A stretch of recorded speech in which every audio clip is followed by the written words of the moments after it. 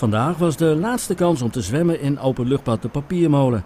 Het zwembad maakt namelijk om 8 uur een eind aan het seizoen. Veel mensen vinden dit jammer, aangezien het komende week nog lekker weer blijft.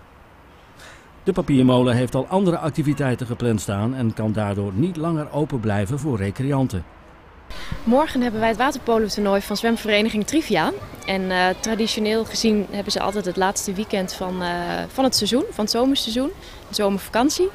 En eh, maandag beginnen alle scholen weer, gaat iedereen weer aan het werk. En eh, ja, om die reden eigenlijk stopt het seizoen voor ons dan ook.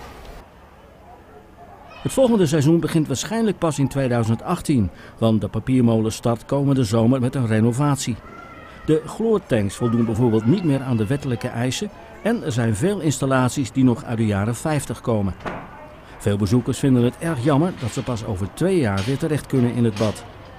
Volgend jaar is het bad helemaal dicht. Wat vindt u daar nou van? Heel erg. Dat vind ik heel erg. Ik realiseerde me net vanochtend dat ik het eh, jaar daarna hier pas voor het eerst weer kom en dan ben ik al 55.